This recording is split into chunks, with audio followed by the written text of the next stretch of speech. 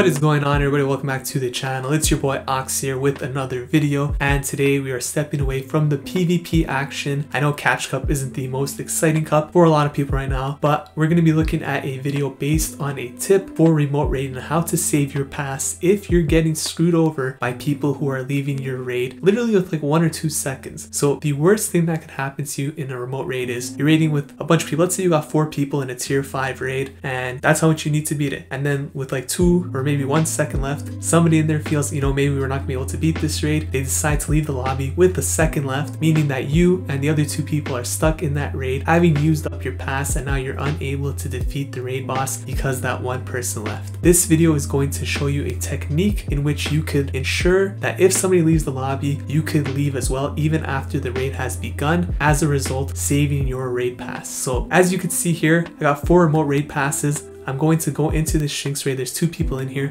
Now, obviously, Shinx isn't the most difficult raid and not the best example, but that's not the purpose of this example here. This is just to show you how it works. And in order to make this work, what you're going to need is an empty raid party. As you can see here, I have one entitled Absol Raid. So basically, you need to get a party like this, have no Pokemon in it. In order to do that, just click New Party, create a new party, add no Pokemon to it, and just leave it empty. And then swipe over to this party when the raid starts and leave it on this screen. So as you can see here, there's three people in this raid. Now what's gonna happen is when this timer reaches zero, it's not going to allow you to join the raid because you're on an empty raid party. So it's going to show you if people have left or if people are still in once it hits zero. So zero's in, you wait a few seconds, you could see here, all three people are still in this raid. So I could join in now if I want to do it, or I could choose to leave if I notice that people have left.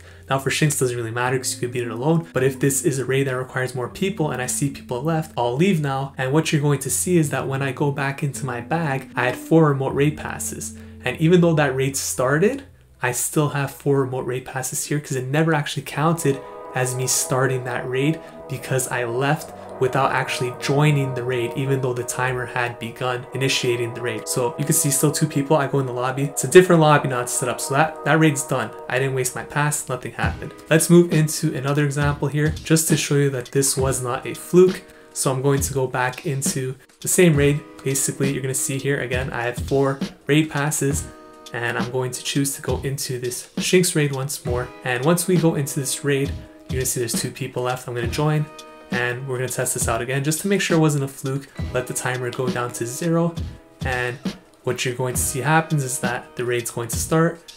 Those two people in the raid already are going to be doing the raid and I'm going to be in the lobby and now I'm going to choose to exit the raid and when we go back into my bag, you're going to notice that even though the raid did start, because I never joined it myself, I'm still going to have the four remote raid passes in my item bag.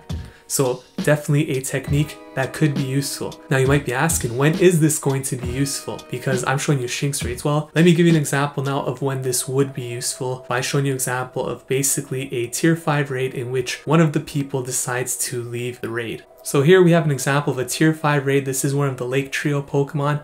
And basically we have three people in this lobby. Now, I assume that the three of us could do this, but I'm not sure what one of these people is thinking because I don't know them personally. So I'm waiting for the countdown. You can see here, as it gets to one, one of them leaves. Now, had I not been on this empty party, I would have started the raid with this other person and we would have both got screwed because there's no way we're going to beat this without friendship boost.